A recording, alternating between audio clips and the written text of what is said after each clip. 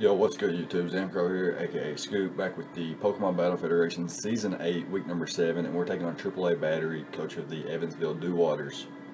So, we are, he is sitting at 3 and 2, he's got this game and one other game to make up, and we're sitting at 6 and 0 right now, so we're putting, undefe uh, putting our undefeated uh, season on the line here in week number seven. I thought about just forfeiting and not giving out any strats, but I felt like I could just uh, try to get some kills with Mankey in this matchup and see what happens from there. Anyways, we've got a Focus Sash, uh, Diglett with Arena Trap, Earthquake, Sucker Punch, Focus, or excuse me, Rock Slide, and Stealth Rock, Jolly, so that we can outpace everything on his squad. We've got uh, Mankey, which is a Choice Scarf U-Turn Close Combat Ice Punch Final Gambit variant and I'm thinking about leading off with it and just clicking Final Gambit versus uh, versus the Dewpider because I don't want webs up, but I don't necessarily know if that will knock him out. I'm actually going to check and see how much uh, HP that Dewpider would be at if he was like bulky. So 23 is the highest he can sit at. Our Mankey sits at 21. Um, I think we can just lead off with Mankey. And if he leads off with the Dewpider, we can just click, uh, he leads off with the Foongus, though. So, not terrible here. And we can just U-turn out into Budew. He could switch. I guess switching out into Dewpider now would be problematic for us.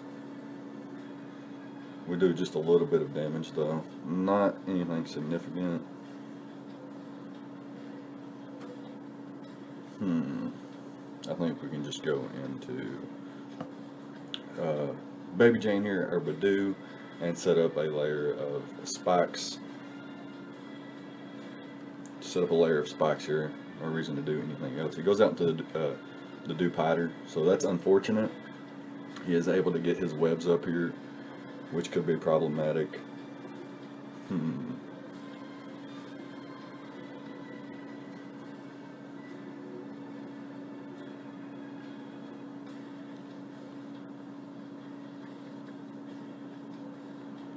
We're going to go out into our Azurill, and if he goes for the Sticky Web, we're going to Encore him into Sticky Web,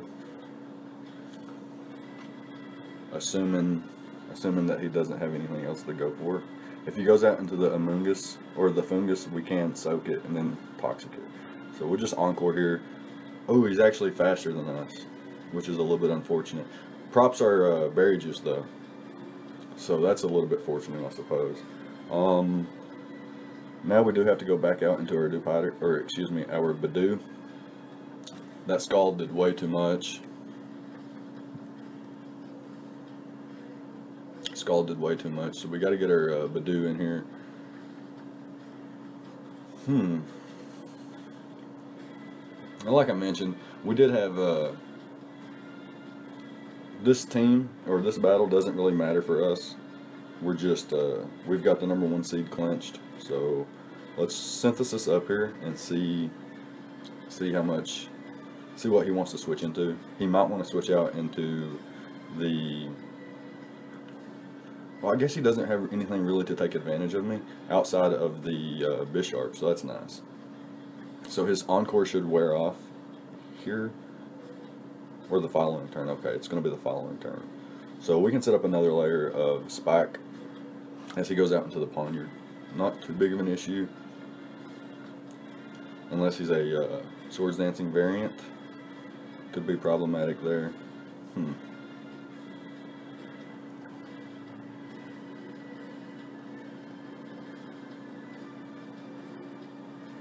I think maybe our best play is to go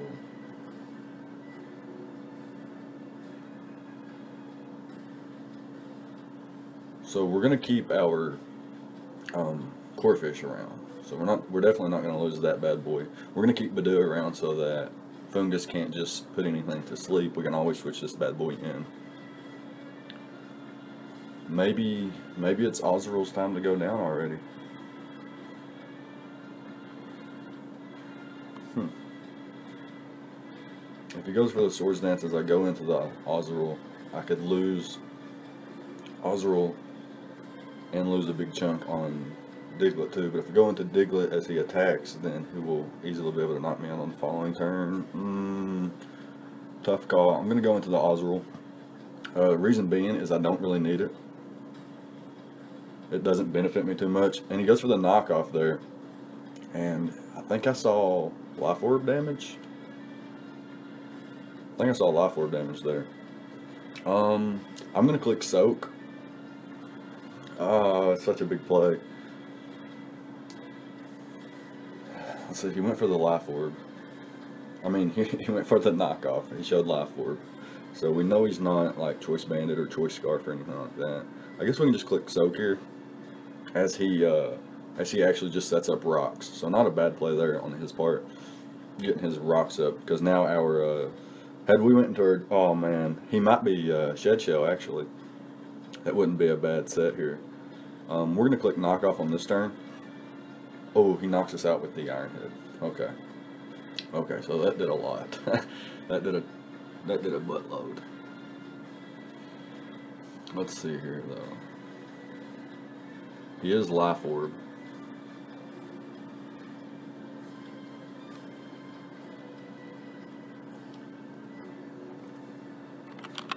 Pawniard, life orb attacker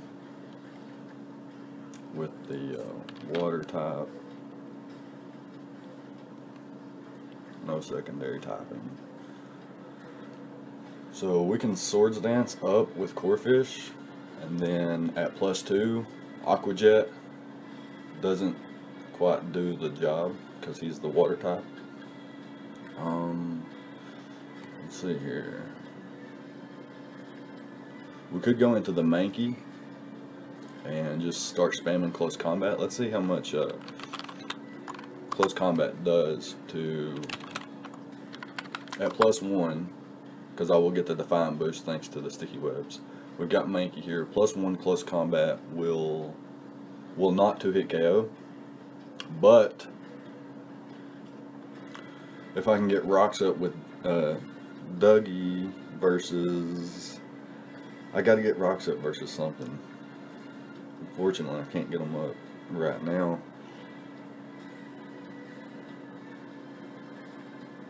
I think I have to go Corphish and just Swords Dance. And if he goes to the Foongus on my Swords Dance, then he might be in range of uh, Double Edge. So yeah, I'm going to go into Corphish here and just set up a uh, Swords Dance.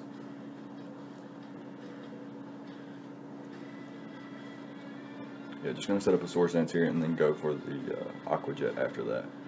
As he goes straight into the Foongus. So he's got to be like max defense here. He's got to be max defense here. And we're just going to click the double edge. As Giga Drain doesn't, isn't able to knock us out, but he is able to do quite a bit of damage to us there. And this double edge does nothing. It bounced off. it bounced off. That's a little bit problematic. So, the play now. What is the play now? Not having rapid spin on Star is hurting right now really, really bad. Um,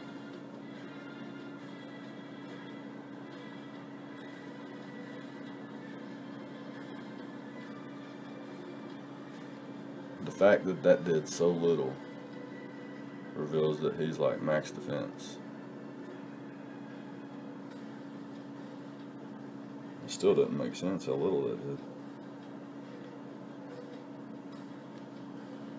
Let me double check there. Double edge is 57%, which is like the lowest row possible if he's max defense. Let's say he's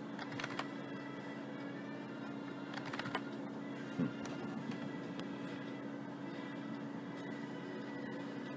The sticky webs made him faster, which was problematic.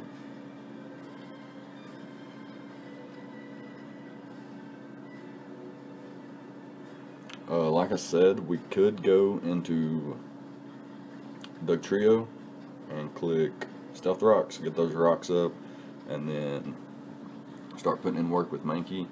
Maybe, uh, I think Staryu still outspeeds here, and can knock him out. Let me just double check my set here and make sure that I have something to hit this with. I do have Ice Beam. So I could go into Starmie here and just click Ice Beam. Uh, he could go into the Dewpider expecting an Ice Beam.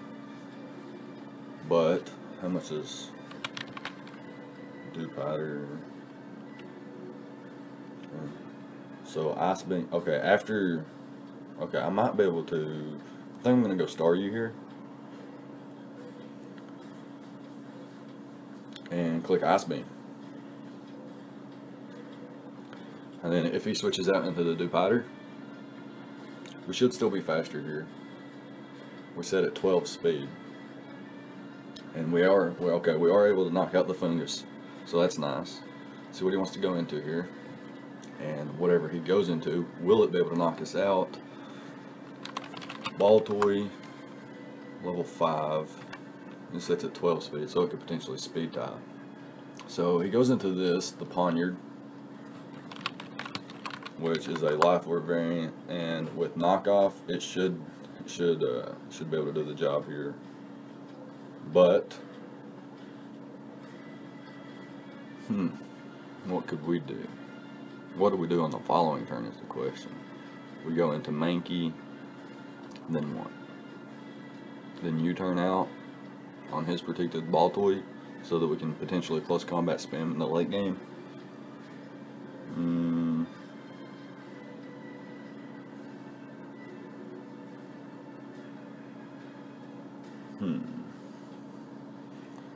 We could go into Budew here, but if he straight goes for the, uh,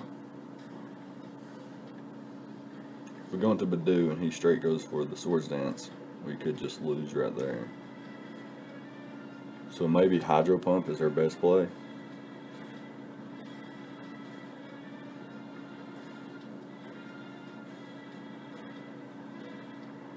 Just gonna click that Hydro Pump here.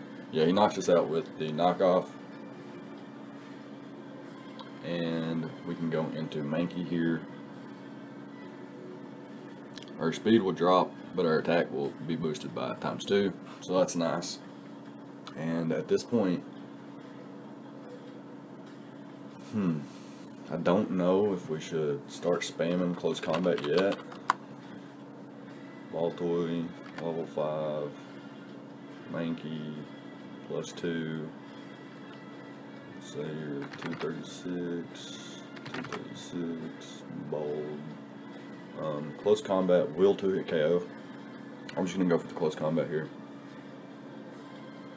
Unless he's berry juice, we will 2 hit KO him. Please don't be berry juice. He is berry juice. A little bit unfortunate there. Ah, so U-turn was definitely the play. Could have potentially knocked him out with U-turn, especially at plus two. So the play is to go hard into Dugtrio, or excuse me, Diglett, and get up my own Stealth Rocks here. As he uh, gets rid of those actually. So we're actually going to set up Stealth Rock once again, and then we're going to Sucker Punch on the following turn. Ooh, he's actually able to knock us out. So there's that. Now we can go back into Mankey and hopefully be able to outpace him still. Unless he is uh, running speed investment, we should outpace him. Actually, we outpace anyway because we're Choice Scarf. So we can just U-turn out here. We knock him out. Knock him out there. And we go into our Budew.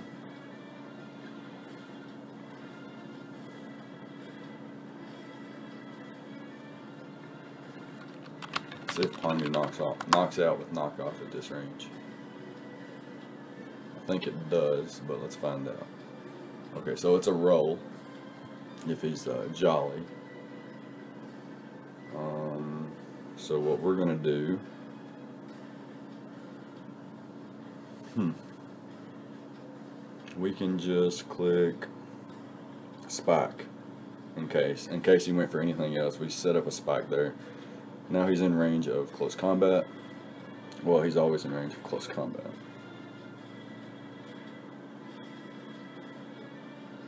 And now let's see what we can do here.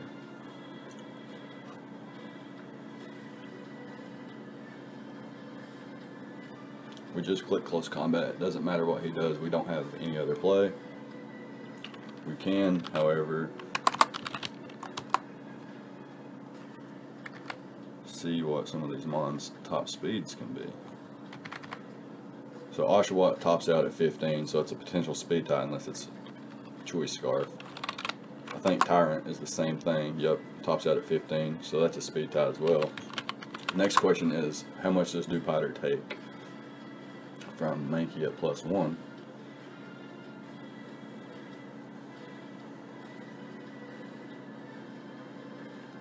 So he's going to come in on Stealth Rock. And I got to put myself at plus two. And we could potentially knock him out. If he goes hard into the Dewpider here, I think we could win. If he's uh, if he's not Choice Scarf Tyrunt or Oshawott, and we win those speed ties. And he goes hard into the Oshawott. So smart play there, not going straight into his uh, Dewpider, as that would have been a huge misplay. But he is afforded to go into Dewpider now, where if it's uh, if it's Eviolite and any kind of bulky investment, it will. I can't. I can only two hit KO it from this range. However, well, it's my only play, so no need to really calc. Whoops. No need to really calc here. Uh, just click, click close combat, see how much we can do. And we do 57%. No way we can live his attack. He goes for the Scald. Yeah, it's going to knock us out, and that's going to be a good game. really, really tense there. Uh, Sticky Webs is really hard to play around. I should have brought Rapid Spin on Starmie, or Staryu, excuse me. And yeah, I was hoping he would go into uh, the Dewpider there at the end game. Uh, let me just say GG. Uh, so yeah, good game to AAA, and that's going to be the end of season seven for us. We're going to be going into the playoffs as the number one seed, and looking forward to that. Um, look out for a uh, playoff picture video with some maybe an award ceremony video as well. Might might do that kind of two in one video kind of thing.